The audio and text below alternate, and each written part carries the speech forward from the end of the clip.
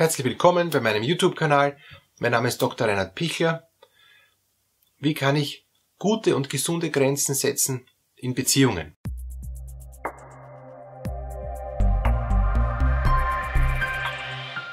Wenn ich mit einem Menschen zusammenlebe, dann kommt es natürlich aufgrund von der Nähe immer wieder auch zu Reibereien, weil ich Dinge auch möchte, die der andere nicht möchte und aufgrund der Nähe werden wir ziemlich schnell auch an Punkte kommen, wo ich merke, das ist nicht so, wie ich es gewohnt bin. Und da liegt eben dann die Zahnpasta nicht links, sondern rechts und, und die Zahnpastatube ist auf und zugeschraubt. Sie kennen alle diese Beispiele.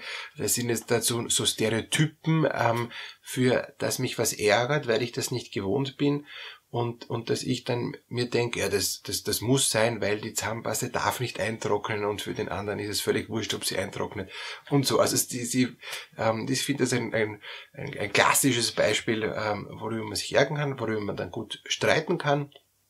Und was sich aber nicht ändert, ja, weil das Interessante ist ja, es bleibt dann trotzdem so und weil, weil es halt der andere gewohnt ist, weil er gerade bei solchen ähm, ganz tief eingefleischten Alltagstätigkeiten wie Zähneputzen, was er seit Kind an jeder macht, ja, dann nicht mehr nachdenkt. Ja.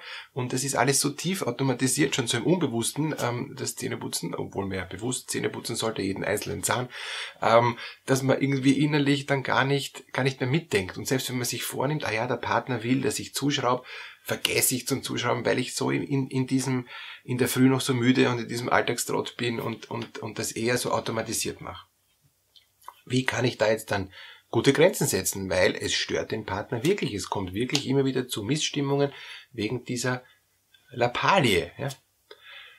Eine Lösung ist ähm, auch, um sich selber ernst zu nehmen, dass man versucht, das zu, zu tun für sich, was man für sich braucht. Ja? Und, und wenn ich jetzt, um wieder in dem Beispiel zu bleiben, meine Zahnpasta zugeschraubt haben will, ja, dann kann ich mir eine eigene kaufen. Ja. Wir brauchen ja nicht eine gemeinsame haben, sondern ich habe meine eigene. Da steht dann groß mein Vorname drauf und, und die ist dann immer zugeschraubt.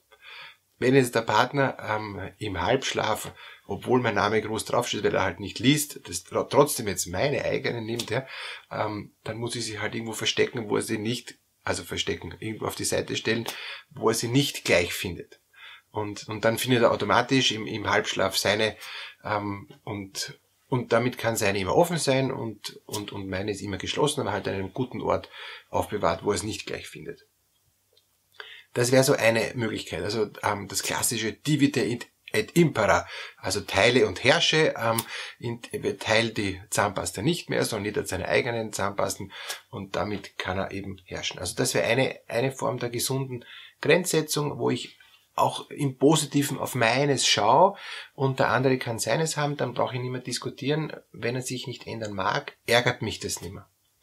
Und das kann ich schon auch für viele andere Bereiche dann noch ausdehnen in, in der Partnerschaft, wenn wenn der Partner lieber in der Früh später aufsteht und, und, und ich dafür früher, ja, dann kann ich in der Früh was anderes tun, weil ich weiß, er steht eh später auf. Dann brauche ich mich nicht ärgern. Dann brauche ich ihn nicht wachrütteln und äh, dass der halb komatös dann ins Bad wankt und den ganzen Tag irgendwie paralysiert ist, bringt nichts. Ja, es ist gescheiter, ich akzeptiere es.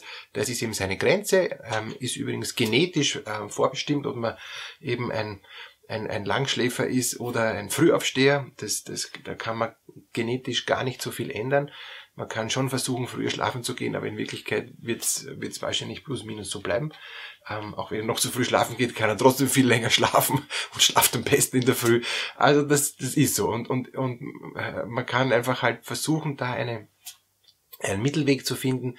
Aber eigentlich ist, ist für mich dieses erste Prinzip ähm, der Grenzsetzung in der, in der Partnerschaft, dieses Dividet Impera, ähm, dass ich unterschiedliche Bereiche akzeptiere, ohne dass deshalb die Beziehung in Frage stehen muss. Ja? Sie ist ja in Ordnung, dass einer länger schlaft und einer kürzer und deshalb haben wir uns trotzdem gern und wir haben ja trotzdem viele Schnittmengen. Wenn es gar keine Schnittmengen mehr gäbe und wenn jeder nur sich auf seine Burg zurückzieht und nur noch ein Nebeneinander herleben ist, ohne, ohne eine Schnittmenge, ohne Gemeinsamkeiten, das wäre dann schade. Das glaube ich aber nicht. Also es gibt, äh, vermute ich einmal ganz stark, ähm, ganz viele Gemeinsamkeiten und halt auch einige Nicht-Gemeinsamkeiten. und diese Nichtgemeinsamkeiten muss ich jetzt nicht als Prüfstein äh, sofort äh, in die Waagschale werfen. Es gibt natürlich einige Nichtgemeinsamkeiten, die ich nicht tolerieren kann.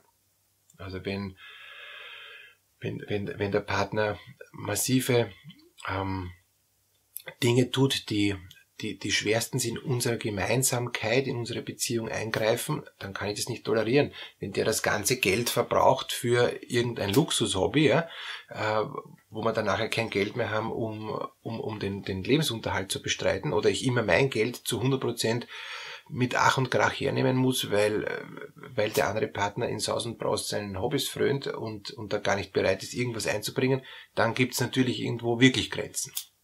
Und wenn wir dieses Beispiel hernehmen, wo, wo ich merke, das, das, das ist absolut grenzüberschreitend, das geht nicht. Oder, oder wenn, wenn der Partner sagt, jetzt sei nicht so und akzeptiere, dass ich so bin, ja, ähm, und, und, äh, und, und ich aber merke, ich, ich wäre hineingerissen in, in, in, in diese Situationen, die ich gar nicht will. Ja?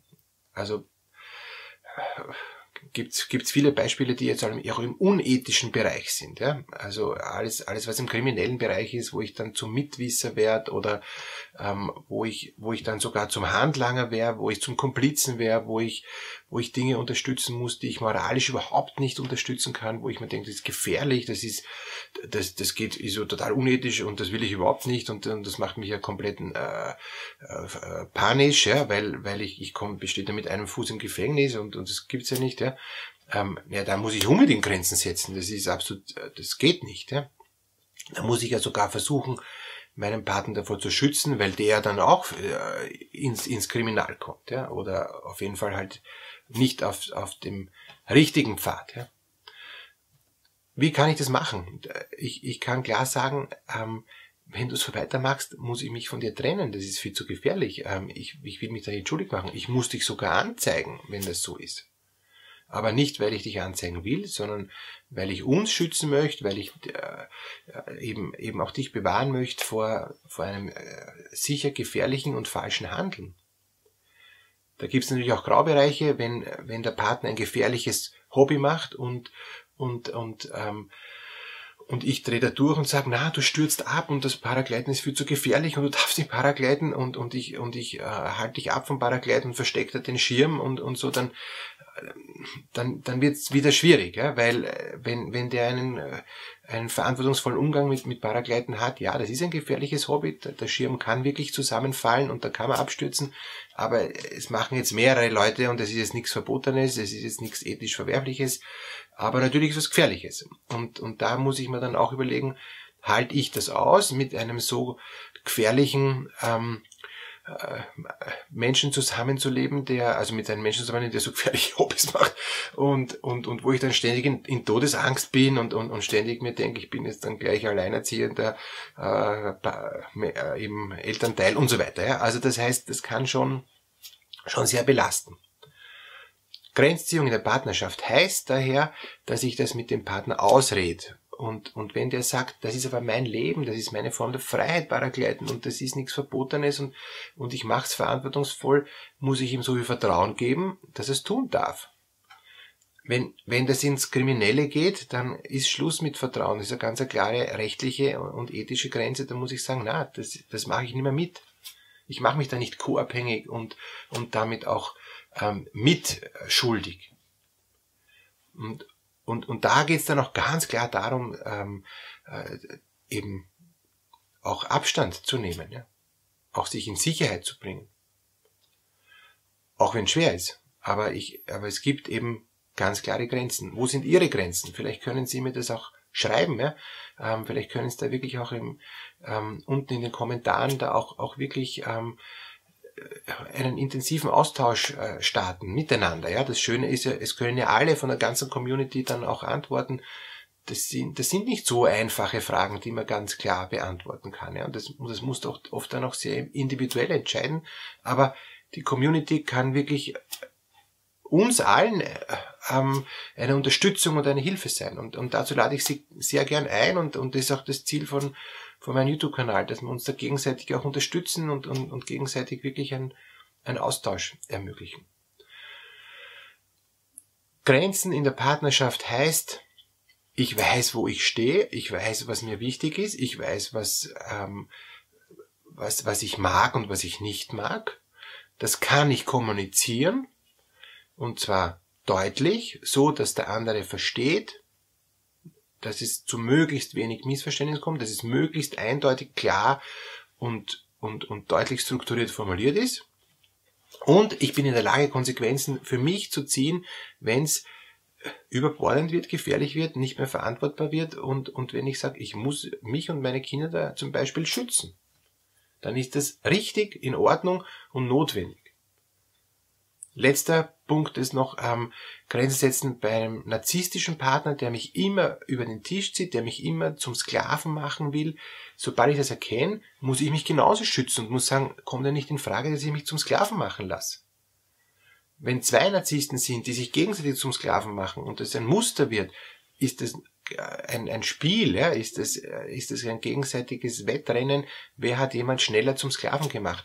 Das muss ich als Erste erkennen und sagen, ich spiele da nicht mehr mit, Hase- und Igel-Spiel bringt's nicht. Da gibt's nämlich dann zwei Igel und zwei Hasen, die immer gleichzeitig schon da sind. Ja? Also nein, mache ich nicht.